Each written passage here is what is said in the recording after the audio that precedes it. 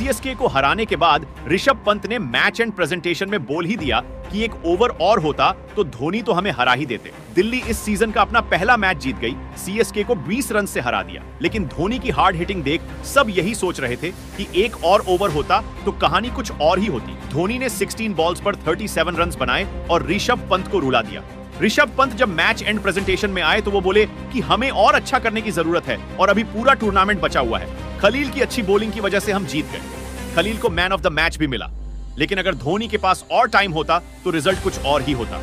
दोस्तों, आपकी best team कौन सी है? कमेंट ज़रूर कीजिए।